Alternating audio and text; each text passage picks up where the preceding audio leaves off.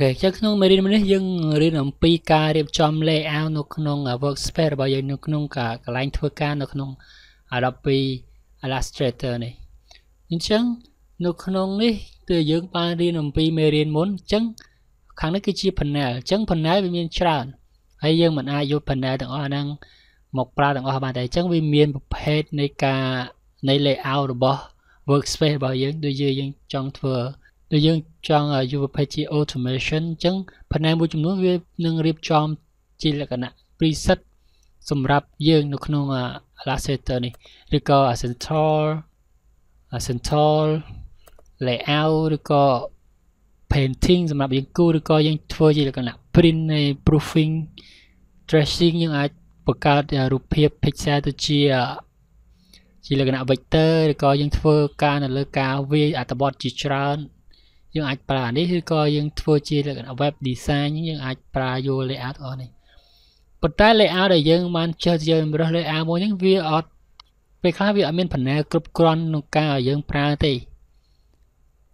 អញ្ចឹងដូចវាពិបាកប៉ុន្តែយើងអាចបង្កើតនៅ layout ខ្លួនយើងថ្មីបានទីហើយខ្ញុំចង់បាននៅផ្សេងទៀត panel ផ្សេងទៀតនឹងខ្ញុំចូលទៅក្នុង window menu នេះហៅ menu ដែលយើងបានរៀនពីមេរៀនមុនទីអាចចុចនៅលើ window menu ហើយយើងនឹងអាចជ្រើសរើសដូចជាខ្ញុំអាចរើសនៅជាខ្ញុំសូមរុញឡើងលើតិចចឹងចឹងខ្ញុំអាចរើសនៅ align align panel នេះចឹងក្នុងនេះវាមានឲ្យយើងឬក៏ខ្ញុំអាចបង្កើតនៅជា artboard ជើងនេះជាងអាចទាញមកដាក់កន្លែងណាមួយយើងចង់ដាក់អញ្ចឹងទៅទីក៏ខ្ញុំអាចចូលទៅក្នុងជួយខ្ញុំចង់ប្រើជាមួយនឹង gradient ខ្ញុំអាចចូលទៅក្នុង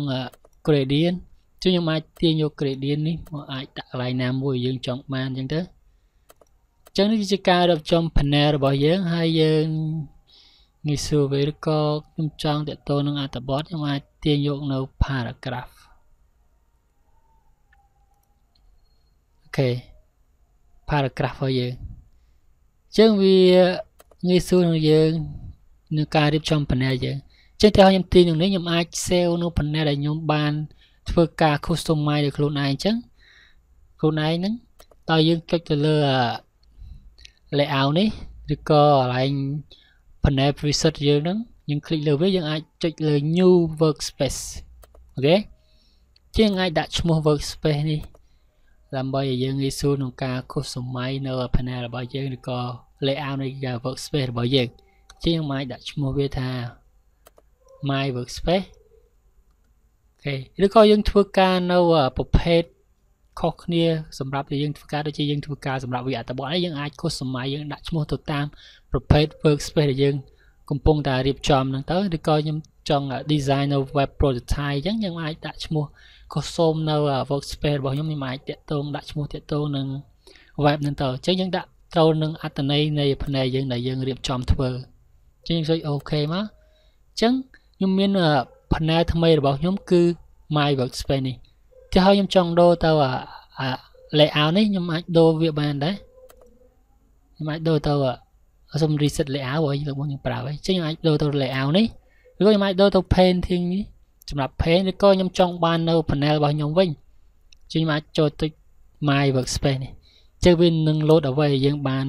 អឺ set ទុកមុនដូចជាយើងអាចគឺដែលយើងបានឃើញ paragraph នេះយើងទាញចេញមក OK OK ឬក៏ពេលខ្លះវាបង្ហាញនៅ panel ច្រើនពេកដែលយើងអត់ត្រូវការទេ ទី យើងចង់បិទអានេះចោលយើងអាច ក្នុង library នេះយើងអត់ចង់បានអីទេព្រោះឲ្យវា connect ទៅកាន់ internet អញ្ចឹងណាទីហោឬក៏ក្នុងតកតងនឹង symbol ឬក៏នេះយើងអត់ប្រើវាទេយើងអាចទាញវាចោលអញ្ចឹងទៅប្រាស់នេះក៏យើងអត់ប្រើដែរហើយនឹង color theme នេះយើងអត់ប្រើទេនេះយើងអត់ប្រើទេហើយនេះយើងអត់ប្រើទេយើងអាចទាញវាចោលអញ្ចឹងហើយយើងអាចដូចជានេះយើងអត់ប្រើទេ gradient នេះយើងទុកទៅ ឬក៏យើងអាចទាក់ទងនឹង character នឹងទាក់ទងនឹងការវាអត្ថបទនេះយើងអត់ចង់ប្រើទេទាក់ទងនឹង text នេះព្រោះយើងត្រូវការវាអត្ថបទអីទេជាងអាច customize ឲ្យយើងទាទាញអ្វីយើងចង់បាន panel យើងចង់បានអញ្ចឹងហើយយើងអាចបង្កើតនៅ panel ថ្មីដែលយើងដាក់អញ្ចឹងទៅទីហើយអញ្ចឹងយើងអាចដាក់ my workspace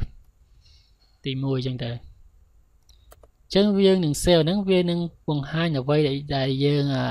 បានធ្វើហ្នឹងចឹងយើងអាចចូលទៅកាន់ workspace ទីហោ layout អញ្ចឹងយើងអាចចូលមកកាន់ my workspace ទី1នេះអញ្ចឹងវានឹងធ្វើអ្វីដែលយើងបាននេះចឹងអូខេឬក៏យើង workspace ទី1យើងបានប្រើអីផ្សេងផ្សេងយើងអាចទាញចេញចឹងហ្នឹងវាញ៉ៃញ៉ៃអញ្ចឹងយើងអាច reset ដូចនៅ workspace ផ្សេងទៀតនៅ layout ផ្សេងទៀតដែលវាបានឲ្យយើងអាចចុចលើ layout កន្លែងនេះយើងហ្នឹងយើងអាចចុចថា reset my workspace 1ហ្នឹងទៅអញ្ចឹងវានឹងដូចដើមអញ្ចឹង workspace my workspace នេះយើងបានខុសសម័យដូចខាងនេះដែរអញ្ចឹងយើងអាច reset ទៅ standard ទៅអាដើមមួយវិញដែលយើងចុចអាពាក្យថា reset my workspace អញ្ចឹងវានឹងចូលទៅទម្រង់ដើមវិញយើងវិញអញ្ចឹងនេះគឺវិធីងាយស្រួលក្នុងការយើងរៀបចំ layout នៅការធ្វើការរបស់យើងតាមប្រភេទការងាររបស់យើង ដូចជាយើងធ្វើការសម្រាប់ធ្វើ logo ឬក៏ធ្វើ web design អីជាដើម